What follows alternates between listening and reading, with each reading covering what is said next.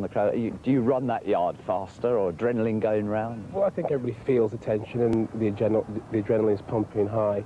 Um, but I think it's, it's, it's rather important, particularly as far as we're concerned, is that uh, with the youngsters we have on the side, that we can keep our heads and play some type of football. I mean, FA Cups are, are renowned for frenzied situations, um, frenzied, frenzied atmospheres, and it causes a lot of players, I think, to, to lose their cool and to lose uh, their composure.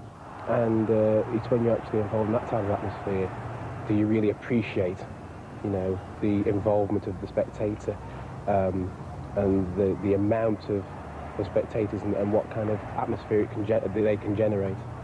Um, but it's something that we have to get on with, and I think the players here deal with it particularly well. Um, um, and hopefully, I think we, we're looking forward to very soon going back into the borough of Greenwich and uh, you never know, perhaps attracting a decent crowd.